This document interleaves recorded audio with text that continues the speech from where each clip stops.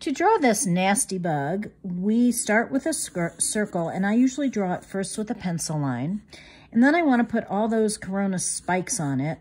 And so I do those lightly, coming out every which way, to causing total chaos, especially for those of us over 60. Then I take my waterproof micron pen. I like using the 005 for the thinnest line possible. And I fill in and go over the lines I want to keep with my pen. Pretty fun. Boy, this thing looks kind of mean and awful. Okay, so I've got my spikes on. Now I'm going to let that dry for a few seconds, and then I'm simply going to erase the pencil.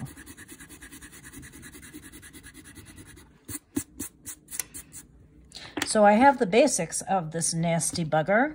Now I'm just going to take some watercolor paint. Here's my regular watercolor palette. And I'm going to just have some fun.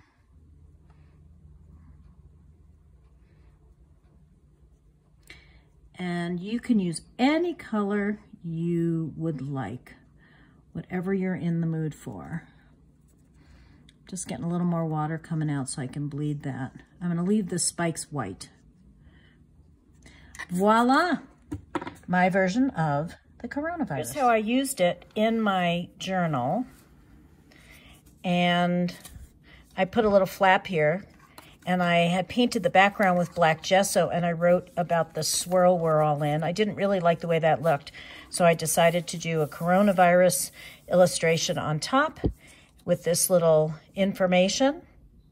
And it really was a great distraction. For more fun and irreverent tips and tricks, and also to stay busy during this social isolation time, visit me at my website, jcmamet.net.